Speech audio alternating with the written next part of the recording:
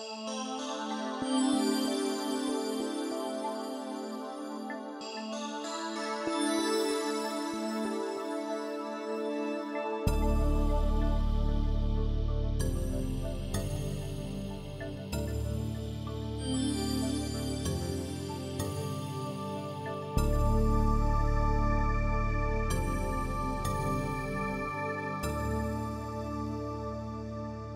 In 2005, the National Film and Sound Archive of Australia identified two films made by Frères Lumiere representative Marius Sestier in 1896.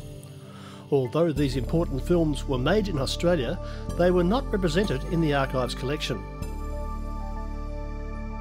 After these films were acquired, the NFSA undertook a great deal of research into Marius Sestier and his time in Australia, India and France.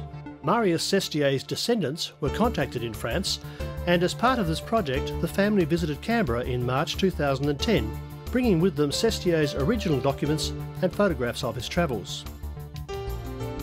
The NFSA conserved, scanned, and preserved the documents and photographs, many of which dated back to the late 1800s. The documents are destined to be translated in preparation for further research leading to the publication of a book about Sestier and the earliest days of cinema in Australia. As part of the preservation process, these documents required extensive restoration so that they could be scanned and digitally preserved. The first time I heard about these Sestier collections, I was worried about their conditions, uh, especially because I have to um, digitize every page and these materials are well over 100 years old. Um, once the items arrived, I was quite surprised how good they looked.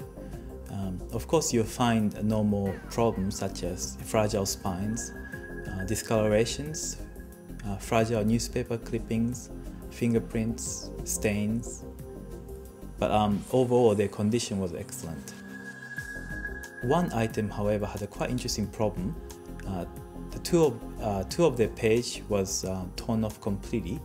Um, in order for us to be able to um, digitize entire content, we needed to reattach the torn page with the rest of, of its page together. And in order to do so, we had to be able to do it in a way that uh, none of the texts are covered and also the texts are aligned perfectly on both sides. In order to do any mending in paper conservations, first you have to test the solubility of every pigment on, on the page.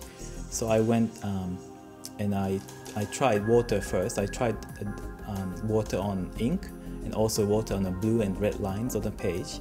And I found them to be quite insoluble, which is good news. Then I picked um, Japanese tissue paper that is closer in color and weight to, to the original paper then I use Methocel um, to adhere the Japanese paper.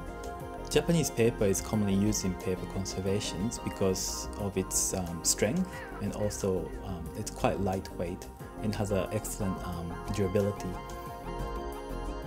The entire procedure was quite lengthy, but in the end I was quite happy with the outcome and we were able to um, digitize the page quite nicely.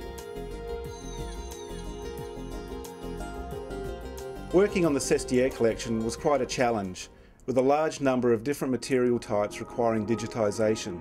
The Sestier collection consists of photographs, autochrome glass plates, diaries and journals, all requiring careful handling and item-specific digital processing. The journals, one of the items that I worked on, are extremely fragile and contain newspaper clippings that have been glued in place and in some cases are folded in to fit the journal.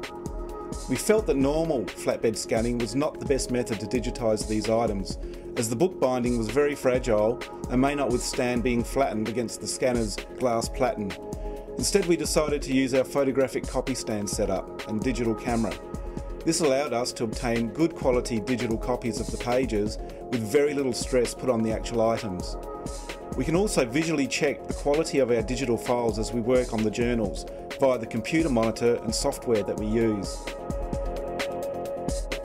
Primarily in my involvement with the Sestier project was digitising photographs of Marius Sestier and his family and doing frame blow-ups from the Lumiere films. When scanning frame grabs from the Lumiere films, film services marked the frames to be digitised.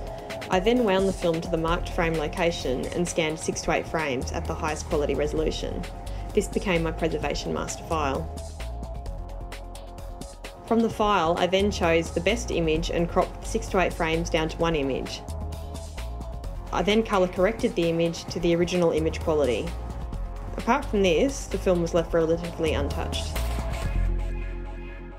This was a really amazing project to work on. The Sestier footage is some of the oldest, the oldest film footage to have been shot in Australia, which made it historically just um, phenomenal. And it was really enjoyable to look at the footage, to handle the footage, and to look at the beautiful photographs of this family. One of the highlights of the project was the visit by the Sestier family members from France to the NFSA.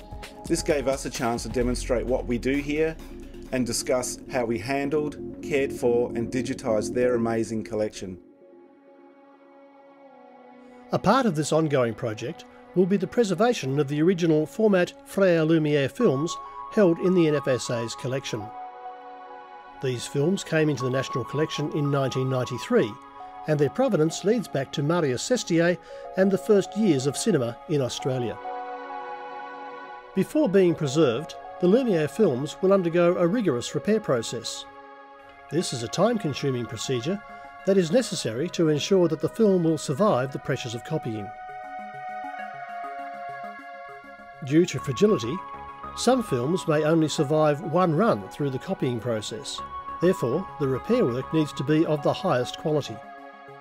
I suppose the most challenging thing about dealing with the Lumiere material is it has um, non-standard perforations or the holes that drive the film through the printer or the projector. Um, instead of having four perforations either side of the frame, it just has two circular ones either side of that frame. So it's quite, really, really quite unusual to look at and quite difficult to deal with as well. The main thing is we have to repair that film in a way that will go through the printer, um, not be damaged and not cause any damage that is completely irreparable.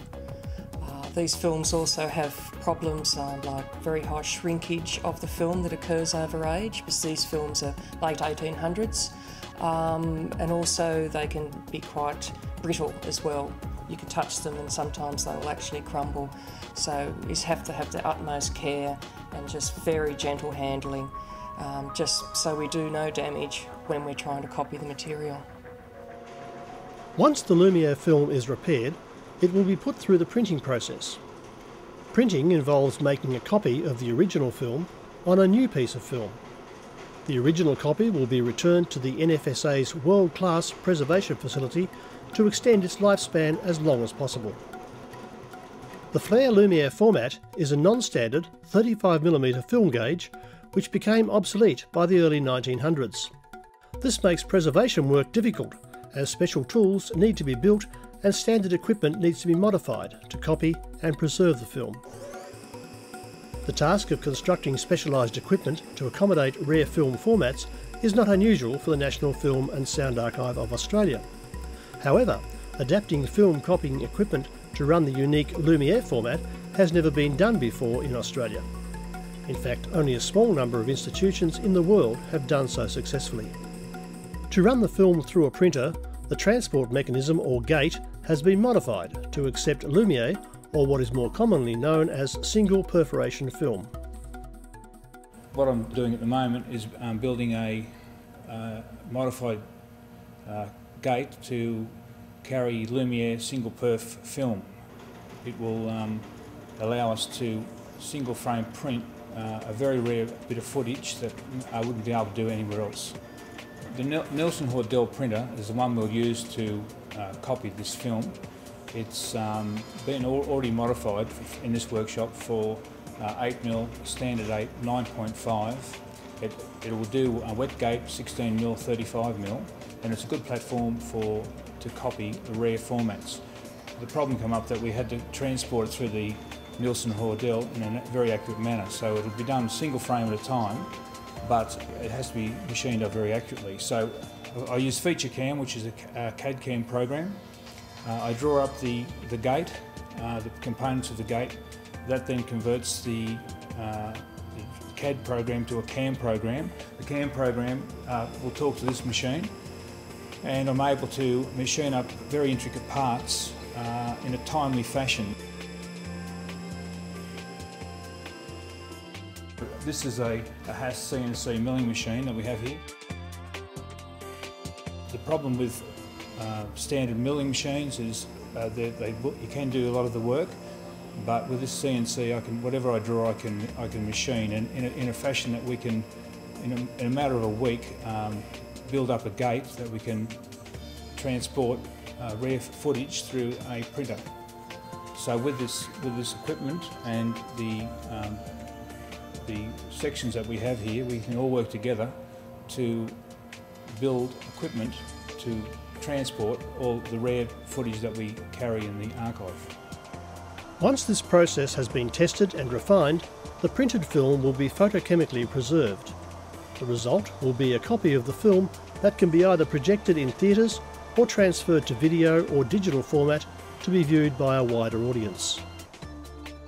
It is through the skill and ingenuity of its staff that the National Film and Sound Archive of Australia is able to conserve and preserve Australia's film history. The use of innovative methods such as these ensures that invaluable historical insights into Australia's culture will be available for future generations to study and enjoy.